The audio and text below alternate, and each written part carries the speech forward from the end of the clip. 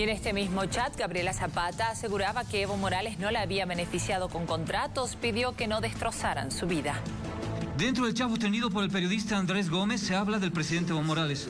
En el registro de llamadas de uno de los teléfonos de Zapata se ve que ella se ha intentado comunicar con el presidente Morales el 8 de enero y el 14 de febrero. En ninguno de los dos intentos tuvo éxito. Sí pudo contactarse con Evaldís por 14 segundos el 13 de febrero.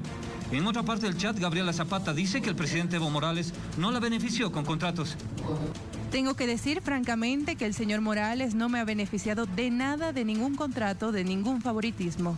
Él es testigo que jamás lo ha molestado, al contrario, yo me hice cargo de mis responsabilidades para no recibir ese trato inhumano que en ese momento recibíamos.